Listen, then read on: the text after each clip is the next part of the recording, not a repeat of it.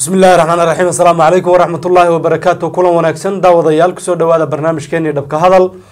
Barnaamijka dhabka hadal qeybtan waxaan kaga hadli doonaa haddii rabbi qadaro xiisadii ka dhex taagnayd gobolka tigreega ama ismaamulka tigreega ee dalka ethoobiya iyo weliba xukuumadda dhexe ee dowladda ethoobiya sidaan horey u soo tilmaamay dhowr jeer oo aanu ka hadalnay qadiyadaasi waxaanu idiin sheegnay ama aanu idiin soo tabinay in khilaafaad aada u xoogan uu ka dhexeeyo maamulka dowlad deegaanka tigreega iyo weliba dowladda dhexe ee uu hogaamiyo abiy axmed cali khilaafkaasi maalinba maalinta ka dambeysa waxa uu muuqday in uu sii karaar qaadanayay ama uu ku sii durkayay meesha meelba meesha ay ka xun tahay. Si walbo ay ahaataba haatan warar ayaa ka soo baxaya khilaafkaasi iyo meesha uu haatan sabeynayo waxaa inoo jeexjeexi doona bal wararkii ugu dambeeyey ee khilaafaadkaasi ka dhexeeyey qowmiyadaasi tigreega gaar ahaana ismaamulka tigreega iyo weliba xukuumadda dhexe ee dowladda ethoobiya ee uu hogaamiyo ra'iisul wasaare abi axmed. Soo dhawow jaamaco aad baa umahadsan tahay saaxiibkay nuurow. Xaggee wax ku dambeeyey? Niyahow nuurow horta waa sidaa aad sheegtay etoobiya xaaladeeda marka la fiiriyo. Marba marka ka dambeysa waxay maaragtay mid waxay u muuqataa yacni halis daaqaysa oo aan maaragtay inaba hala ekaatee wax maaragtay wanaag rajo ah- muuqanin. wax rajo ah oo wanaagsan oo ka soo socdaahi Uusan jirin. markii ay xaaladdu meeshii ugu dambeysay gaadhay sida aan horeyba u sheegnay ee baarlamaanka etoobiya uu u kordhiyey ninka la yidhaahdo abiy axmed gaar ahaan aqalka federationka Mhm. ay u kordhiyeen muddo muddo xileedkii abiy axmed Mhm. waa tii kooxda t b l f na shir ay qabsatay. Ay ku sheegtay in ay maaragtay qabanayso doorashadeeda bisha in ugu soo foolle ee agosto. Arrintaasi waxay gaadhay heerkii ugu xumaa abiy axmed albaabo badan buu garaacay wuxuu maaragtay to kulan la yeeshay safaaradaha ku sugan magaalada adis ababa oo uu kala hadlayo xaaladda dalka etoobiya gaar ahaan kooxda t b l f oo ah koox miisaan culus leh. Sida ay maaragtay u xagaldaacinayaan go'aamadii xukuumadda dhexe maadaama ay kooxdani muddo dheer talada dalka etoobiya soo haysay ayna saaxiibo caalamiya leedahay Mhm. oo ay jiraan dad badan oo ay isu dhunduleelaan Mhm. wuxuu abiy axmed ku dadaalay in maaragtay safaaradaha ku sugan magaalada adis ababa iyo diblomaasiyiinta reer galbeedku Mhm. ay bal arrintaasi ka howlgalaan oo ay isku dayaan in la dhexdhexaadiyo n arrintaa way ku guuldaraysteen safaaradaha iyo maaragtay diblomaasiyiintii. Reer galbeedka haa reer galbeedku. Waay. oo nimankan t b l f de waa niman siyaasadda etoobiya door weyn ku lahaa. Waa niman haa maxaan ku idhahdaa to siyaasadoodu aysan maaragtay meelahan dhow dhow ayna joogin. Wadahadalkii ugu horreeyey ee ay yeesheenba arrimaha etoobiya faraha kala baxay ku yidhahdeen reer galbeedkii iyo safaaradihii n xidhiidhka la sameeyey kooxda t b l f Waa national issue waa arrin maxaan ku idhahdaa etoobiyaanka u taalla waa arrin aan annaga dhexdanada ay tahay inaan ku kala food qaadno oon wax uun isla maaragtay meel dhigno. Een, arrintuna waa arrin dastuuri ah waxa la isku hayo ee khilaaf iyo xukun ma aha. Mar hadday arrintu dastuuri tahayna waxa weeyaan loogama baahna- baahnaa dowladda shisheeye loogama baahnaa marka xalkuna wuxuu ku xidhan yahay dowladda dhexe ee etoobiya ee uu garwadeenka ka yahay abiy axmed Mhm. oo xaqiiqda wajahda dibna oogu soo noqota Dastuur. dastuurkii dalka ee ay ku tumatay. Waa sida marka iyagu ay ku doodayaan yacni. Saas. Markii marka halkaasi ay ka biya cabtay ee ay kooxdii t b l f waabisay reer galbeedkii doonayay in ay dhexdhexaadiyaan gaar ahaan diblomaasiyiintii ku sugnaa magaalada adis ababa. Mhm. Ra'iisul wasaare abiy axmed tallaabo kale ayuu haddana qaaday oo u muuqata tii ugu dambeysay. Tallaabo u muuqata tii ugu dambeysay. haa oo meel loo dhaafaa ayna jirin yacni khadkii casaa yuu qaaday? Yuu haa yuu istaagay. Wuxuu isugu yeedhay odayaasha dhaqanka. Etoobiyaanku mogta waa iska qabiil qabiil sida soomaalida oo kale. Haa qaab qowmiyadeed iyo qaab wax noocaas ay ku dhisan yihiin moogtahay. iyo diimo. Marka oromadu waa waa qabiil qabiil wey oo odayaal dhaqan bay leedahay oo arrimaha oromada gala oo mar walba iyagu gooya. Waay xamaaradana waxaa weeye waa qaab diimeed Een, odayaasha dhaqanka way leeyihiin laakiin waxaa ugu awood badan waa qaabka diinta. Haa waa nimankan dhinaca maarata orthodoxka la yidhaahdo oo waxaa meesha ay ku xajiyahayeen. Dadka haystaa orthodoxka oo dhan waaba ku taallaba xabashida. Dhulkooda leylabella wax noocaasa la yidhahdaa Ay. marka wuxuu isugu yeedhay culimadii culimana ma- ma- maxaa lagu dhihi jiray horta afkooda? Qaysaskii qaysaskii haa Mhm. iyo wadaadadii diinta islaamka iyo qaysaskii diinta kiristaanka inta een, qaybood ay ka kooban tahay. Maxaan ku idhahdaa odayaashii dhaqanka ee, oromada iyo kuwii wax alaaliyo wixii dee adigu habdhaqan lahaa iyo wixii diin ahaa iyo wixii adigu siyaasadda ka baxsanaa ee hogaamiyeyaal ahaa ama kuwa diinta ha ahaadaan ama kuwa dhaqanka ha ahaadaane yuu isugu yeedhay abiy axmed. Shir buu la galay wuxuu yidhi nimankaana kala gaadha intaana isku beyn haa. Nimankaa tigraaga ay annaga. Na kala gaadha. kala gaadha haa. Etoobiya dagaal bay qarka u saaran tahay. Haddii tigree ay xabadu ka qaraxdana etoobiya oo dhan bay ka wada qarxi halis kale oo mar dambe aan ka hadli doonaa hadduuse ilaahay maaha dhihin udhaxaysa axmaarada iyo tigreegana. Mhm. way soo cusboonaatay oo hadda waxaa la isku haystaa xuduudihii. Dhulkii ay tigreegu xoogga kaga qaateen axmaarada intay talada hayeen. Mhm. iyo axmaaraduna isku dayeysaa hadda inay dib uga riixato oo durba waxaa bilowday muran xuduudeed u dhexeeya tigreega iyo Iyo axmaarada. Waay. aan ka soo noqda marka halkaas odayaashii dhaqanka iyo adigu jilib culustii etoobiya Mhm. waxay isugu tageen gobolka tigraay la yidhaahdo ayay isugu tageen. Muddo saddex maalmoodaba way joogeen. Een, kulamo isdaba joog ah kulamo isdaba joogahay t b l f iyo maxaanku idhaahdaa to nimanka la yidhaahdo odayaashii uu abiy diray Mhm. yay yeelanayeen. Wadahadaladii wax la wada hadlo wax la wada hadlo wax la wada hadlo odayaashaasi waxay ku dadaaleen oo ay xoog iyo xeeladba isugu geeyeen inay kooxda t b l f ku qanciyaan inay miiska wadaxaajoodka soo fadhiisato. Oo ay dowladda dhexe la hadasho. Oo wixii kaga maqan dowladda dhexe. Haa ay kala xaajooto arrintana. Dagaal maanta etoobiya ka dhex qarxaa wuxuu halis u yahay geeska africa oo dhan inuu saameeyo sidaa daraaddeed in laga baaqsado wax kasta oo keeni kara dagaal. Wadaxaajoodna maaragtay lagu galo arrinta. T b l f macnawiyan arrintaas umayna guuxin. Odayaasha dhaqanka iyo dalabka ay la tageen iyo ergada ay ugu tageen macnawiyan umayna guuxin oo mayna aqbalin laakiin way soo dhoweeyeen. Si kale laakiin wax u dhigeen oo yacni si rasmiya umayna qaadicin. Laakiin markii la yidhaahdo aqbalaad iyo qaadicid markii la yidhahdo qaadiciday u dhow yihiin.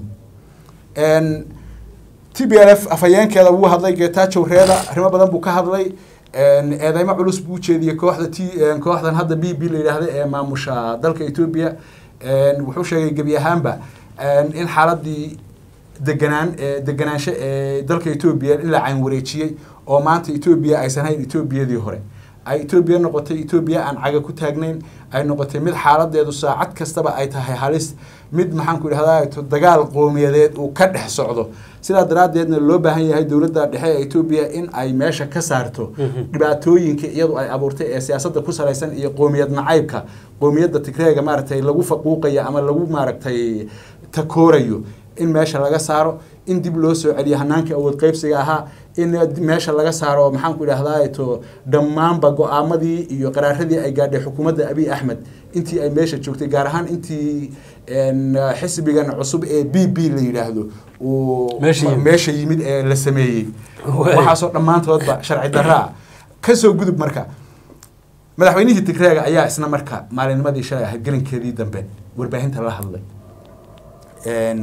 debrezion gabra mikael. Ahna een, hogaamiyaha kooxda t b l f. Wuxuu si cad u sheegay t b l f in aysan diyaar u ahayn ninka hadda maanta tikra ugu awood badan. Mhm. waa gudoomiyaha t b l f ahna madaxweynaha wuxuu sheegay go'aanka t b l f inuu yahay mid cad. Abiy axmed iyo kooxdiisu waxay wadana ay yihiin maaragtay wax qarsoodi ah oo ay doonayaan maaragtay in qudbasiro oo kale in lagu maaragtay galo arrinta tigreega iyo u dhaxaysa b b amaba xukuumadda dhexe. Waay qudbasiro annagu diyaar uma nihin buu yidhi. Wuxuu cod dheer ku sheegay odayaasha way wanaagsan tahay buu yidhi in khilaafkii dagaalka keeni lahaa in lagaga gudbo wadahadal iyo wadaxaajood laakiin wadaxaajoodka iyo waxaan maaragtay qudbasiro uma doonayna yidhi, ma rabna buu yidhi. Wuxuu yidhi waxaan u baahannahay in la isugu yeedho etoobiya oo dhan. Ma jirta buu yidhi annaga tigri ahaan hana la faquuqo amaba hana la xumeeyo ama hana la takooro. Wixii la ha naloo geysto si gaara annaga wax uma raadinayna buu yidhi.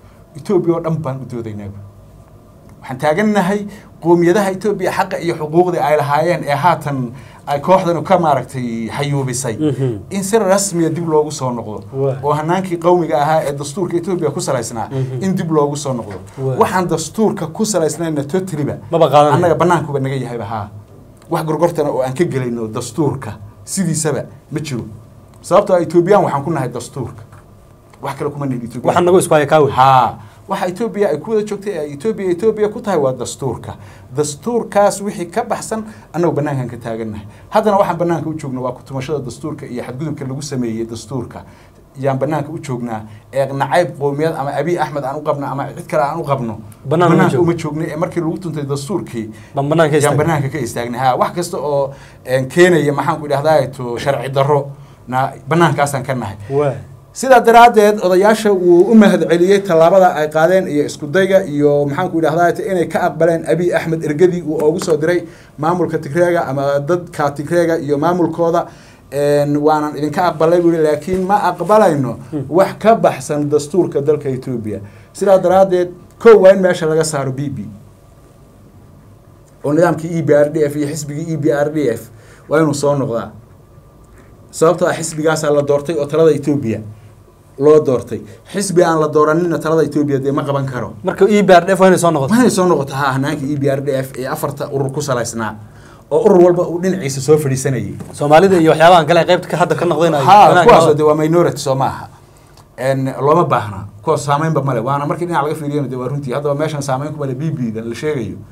Soomaalida iyo canfarta iyo gambeelaaga iyo kuwii awal hore bahwadaagta la dhihi jiray. Weli waa un sidoodii wax saameyn ay kuleeyihiin male meesha hadday tagaan markhaati bay ka noqdaan way way dhegeystaan way iska soo baxaan. Dhegeysigaa unbaa hadda maarata u soo kordhay. Soomaalida iyo qolyahan kale. Ee wax kaloo u soo kordhay ma jiro. Awal horena de waa lagu marti qaadi jiray oo marti sharaf yaa la dhihi jiray wax noocaas. Ah bahwadaag ha yaa la dhihi jiray oo go'aamada la gaadho yaa loo yeedhi jiray ama cod haddii la qaadayo inay un dhowri jireen. Soomada garan. Marka waa un sidii weeyaan oo dhegeysiga unbaa hadda u dheeriya inay sooma. Codkooda wax saameyna ma laha sababta ah guddigii fulinta iyo golihii dhexe iyo waxaasoo dhanba Mhm. weli si rasmiya looma dhisin. Oo maaragtay qolo waliba inta ay yeelanayso. Ha haddii la dhaho marka haddii la dhaho hala dhisana waxaa lagu salayni hanaan qowmiyaha lagu salayni. Qowmiyadaha yaa lagu salayni. Marka soomaalidu markay ugu badato mid iyo laba ay ku yeelan guddiga fulinta mid un bay ku yeelan markii si rasmiya inta loo dhiso hadda waxaan waa kumeel gaar iyo qarba qarba iyo qaboo galool geli Mhm. oo maxaan ku dhahay Iyo soo jiidasho. ha iyo soo jiidasho iyo een, xoogaa yar maaragtay waa ololo In xisbiga awood yar yar. ha Aha. yaa laga rabaa mooyaane Mhm. maalinka si rasmiya loo dhiso xisbiyada kale lagu soo biiraan ha ee, si caadiya inta loo dhiso la yidhahdo golihii dhexe iyo guddigii fulinta ee b b Mhm. yaa la dhisaya maalinkii la yidhahdo soomaalida wax macna ah kama yeelanayso marka wuxuu ku dooday in waa in la soo celiyo warkii oo kooban waxaa si cad uu u yidhi wax kaste oo dastuurka etoobiya ka baxsan annagu ma yeelayna eh qoomiyadaha etoobiya qoomiyadaha etoobiya oo dhan waa in la isugu yeedha waa in fagaare qaran la qabtaa waa in mujtamaca etoobiya ee kala qoomiyadaha ee kala diinta ee kala dhaqanka ee wax ka dhexeeya aysan jirin. Dastuurkii isku hayay ee ay heshiiska ku ahaayeen Mhm. dib loogu noqdo waa in arrintu ay maaragtay rabitaan kooxeed ay ka baxdo. ay ka baxdo haa. Iyo maxaan ku idhahdaa to xukun jeclaysi. Dastuurkaas waxaan ahayn oo noo dhexaynaya male aad baad mahadsantahay jaamaca waayahay xaaladdu marka halkaa taagan tahay marka xaggee looga dhaqaaqi karaa bay yaa la filan karaa maadaama aad sheegtay inay tallaabadan u muuqato midii ugu dambeysay ee abiy axmed uu u qaada dhanka tigreega maxaa soo kordhi kara haddii eh, tigreena halkaa istaageen? Abiy axmedna aad moodad in tallaabadan ay midiisii ugu dambeysay ay tahay way iska caddahay. Suuragal ma aha. Maanta marka la fiiriyo xaaladda erge dambe oo dhex marta. Labada dhinac. Labada dhinac. Suuragal ma aha. Sababtoo ah waa meeshii ugu dambeysay. Kol haddii qaysaskii la kiciyey. Haa nimankii duubabka waaweynaa ee biraha watay. Yaa meesha jooga. Meel dambe oo loo dhaafana male ethoobiana dee orthodox kiniisada u talisa. Qori unbaa ka dambeeya haa halka keliya ee marka hadhay waa xabad halka keliya ee hadhay xabad bay waa noqonaysaa xabad weeyaan haa. Haddii xabadi ay dhacdana etoobiya ku daysi militariga etoobiya markuu dagaal galo tigreegu aad bay u hubaysan yihiin. Soomada garan Mhm. wayna isu diyaariyeen oo hadda dagaal diyaar bay u yihiin. Waxay ku rajawan yihiin. Intuu abi axmed dagaal bilaabay inay dib adhis ababa u qabsadaan hankooda. Ilaahu yaa noo bilaabay taagan yihiin hadda inay dib ay madaxtooyada dib inay ababa u qabsadaan oo ay saameyntii iyo awooddii geeska africa ay ku lahaayeen halka ayna uga sokaynin yaba iska dhaadhiciyeenba. Abi axmedna sida hayaa gabadha kale ay qabsan doonaan. Haa abi axmedna waxaa u muuqata nimankan inay kursigiisii halis ku yihiin oo maanta hadday doorasho qabtaan oy dhahaan ma aqoonsanin. Waxaa weeyaan dee waa halis kale. qoomiyadaha kale ku dayan haa oromada naftirkeeda ku dayan uu ka soo jeedo. Oo iyaguna maamul ku dhawaaqi doona hadday qabsoonto doorashada kooxdan t b l f ay qabanaysa bisha agost ay ku dhawaaqday. Haddii ay qabsoonto oromona waxay ku dhawaaqi siyaasiyiintooda mucaaradku maamul. Cusub oo dowladda etoobiya ay leedahay. Soo ma garan? Xaalad adag oo marka qalafsan badan ku hareereysan yahay. Mhm. yaa ku gadaaman abiy axmed iyo maamulkiisa. Hadduu dagaal qaado u daran oo meelay ku dambeyn lagama warqabo hadduu daayana u daran. Hadduu daayana u daran nimankana doorashay qabsan. Hadday doorasho qabsadaanna shucuubtii kale ee etoobiya ee dhowreysay yaa mid walba furka tuuri. Oromo maamul bay ku dhawaaqi. Xamaarada naftirkeeda waa ka suurowdaa oo maaragtay waa suuragal. Qolyo badan oo kale oo shucuubta koonfureed la yihahda iyaga naftirkoodu eh, tigreegaasay dhowrayaan. Marka halis badan baa ku xeeran meel kale oo loo dhaqaaqo oo aan ka ahayn dagaalna ma jirto maanta. Odayaashaasi ay guuldaraystaan oo ay ka faramaran kala soo noqdaan. Ay tigre faramaran kala soo noqdaan. Mm. oo maxaan ku idhahdaa to maanta ay noqoto ergadaasi mid fashilantay. Mhm. wixii xiga ee ay isula tagaan waa xabad. Xabadna abiy axmed beesha caalamku kuma taageerayso. Ilaa iyo xad. Biladiina saasay ku gubeen biladiina waa ka gubanaysaa soo dhaqaalo badan iyo waxyaalo badan oo u soo socdayn in laga xanibo u badan tahay. Marka etoobiya oo aan dhaqaalo isku filan lahayn oo maamulkeedu uusan caga adag ku taagnayn ammaankeedu uuna sugnayn oo qowmiyaduba qowmiyad gaadayso oo maanta meel walba dab qori eh, waa qori afkii canfar iyo Suuragal ma tahay marka canfar iyo axmaaro waa col. Mm. soomada garan canfar iyo soomaali waa col. Soomaali iyo oromo waxaa weeye waa- waxaa weeye deeradaa dhex miranaysa oo sidii hore iskuma sidii hore iskuma aha oo haa weli colaadii kooxihii hore Mhm. yaa weli taagan. Kuwanina waxaa weeye way yar baqayaan mooyaane. Oromadu dhibaato badan bay soomaalida ku haysaa. Qolaba qolay marka gaadaysaa. Ummadaha marka iswada gaadahaya haddii dagaal militarigii etoobiya uu ku lug yeesho uu qarxo etoobiya waxaa weeyaan birta iskula wada kufi way suuragal ma tahay kolkay halkaa taagan tahay tallaabada ugu dambeysa ee hadda u banan abi ay tahay dagaal inuu mowqifkiisii wax ku darshashada ka tanaasulo oo muuqato. Afrikaan xukun helay. Xal aan xoogahay ma yaqaano mar haddii kursigaba dad uu damac ka galo. Soo ma ninkan marka waxaa u muuqda kursigiibaa u muuqda macaankiisiibuu dhadhamiyey laba sano adduunka dhex ordahayey oo kolba meel looga Hey. yeedhay oo weliba uu kusimo ahaa uusan ra'iisul wasaare rasmi ahayn. Waa inuu rasmi noqdo. Waa inuu marka rasmi noqdo yaa ka go-an taasina waxaa weeye waa un yididiilada iyo rajada isaga ka maaragtay ku jirte Mhm. ma uu haysto maxaan ku dhahay taageero shacab iyo taageeradii bulshada gaar ahaan qowmiyaddii isaga uu ka soo jeeday ma haysto. Etoobiyaankii kalena sidoo kale waxa weeyaan iyaga naftirkooda way ka shakiyeen oo aad bay uga shakiyeen oo qowmiyaduba markay qowmiyad ay weerar ku qaaday oo axmaare iyo shucubtii koonfureed ay islaayeen axmaare iyo oromo ay islaayeen axmaare iyo canfar ay islaayeen axmaare iyo tigre ay islaayeen. Qolo waliba qolada kale ay ku duushay oo qowmiyaddii shucuubtii koonfureed iyaga naftirkooda ay baabahis ka dhigeen oo maalin walba de etoobiya waan la sheeginay yoom walba waa la isku cunayaa. Hubku maalin walba wuu galaa. Maalin walba waxaa taagan dagaal qowmiyadeed baa etoobiya ka dhex taagan. Soo garan? Xaalad ay wax ka qaban karto dowladdana ma jirto oo ma aha maanta xaaladdu sida maaragtay la moodayo.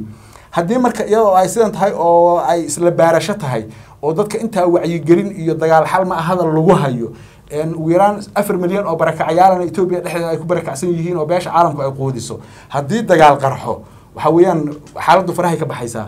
Haddii marka xaaladdu ay faraha ka baxdana abiy axmed ma sii joogayo ma sii joogayo oo waa la afgambiye militariga afgambiye hagaag aad baad umahadsan tahay jaamaco waayahay bal halka aan ku joojino dabcan wixii ka soo kordha ee warara waan idinla wadaagi doonaa haatan halkaas ayaan ku joojinaynaa. Xiisadaasi ka taagan tigree iyo abi axmed dhexdooda. Inta aan barnaamijkan qeybtiisa kale ku kulmi doono. Fi amaan illah